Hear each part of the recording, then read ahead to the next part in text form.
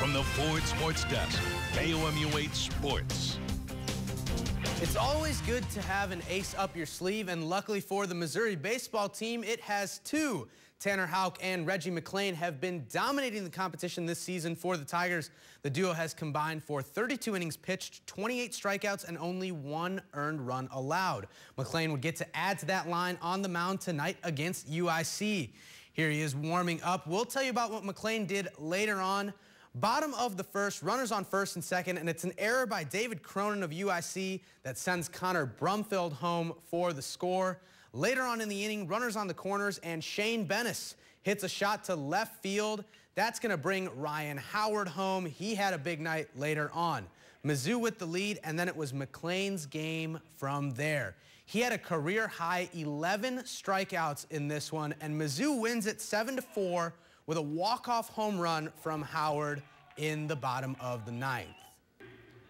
Number 14, Missouri Gymnastics was in action tonight against number 9, Arkansas at home for senior night, but it was underclassmen who led the team tonight. Sophomore Tia Albritton opened up the beam competition with a 9.775. Sophomore Kennedy Harris scored a 9.825 on the vault. That was her sixth consistent or sixth consecutive score of a 9.8 or higher.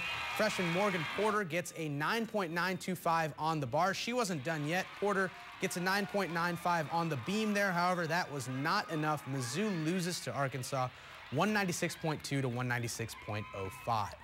The Missouri softball team got win number 11 today against the California Golden Bears in the Judy Garman tournament.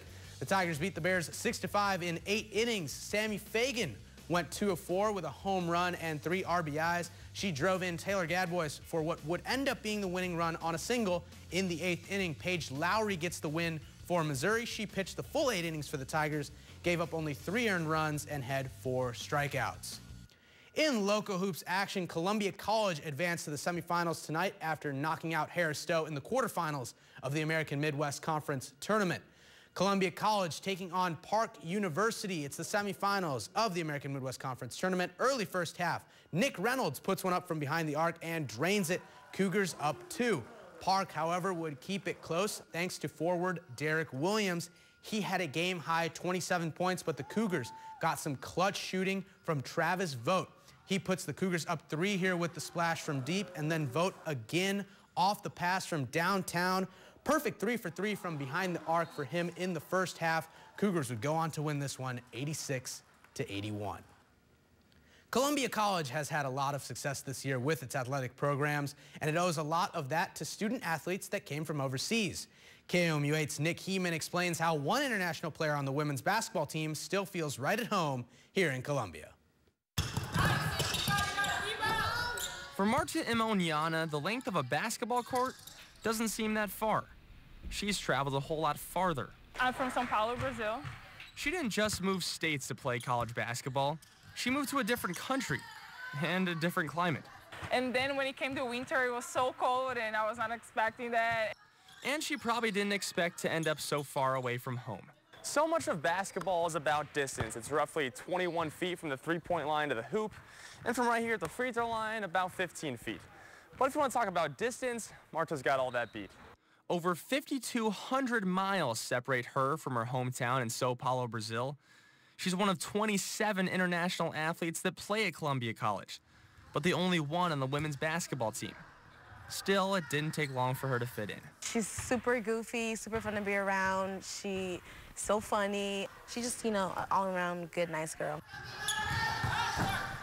And she even helps teach the team a little bit about her own culture, like when she took her coach to a Brazilian restaurant. Of course, it was Marta doing the coaching then. She was really the expert. She had a nice time laughing at me and not knowing how to pronounce things. She was doing kind of well, but at the end of the at the lunch, she was speaking better Portuguese, but it was it was pretty fun to teach her. The Cougars have taught each other a lot, both about culture and basketball. And they've taught others how to come together as a team, no matter where everyone's from. Although many miles away from her parents, Marta's not that far from a family she has one right here at Columbia College. Nick Heeman, KOMU 8 Sports, Columbia. Marta is in her second year at Columbia College. She's still unsure if she wants to stay and work in the United States after school or move back home to Brazil. And that's sports.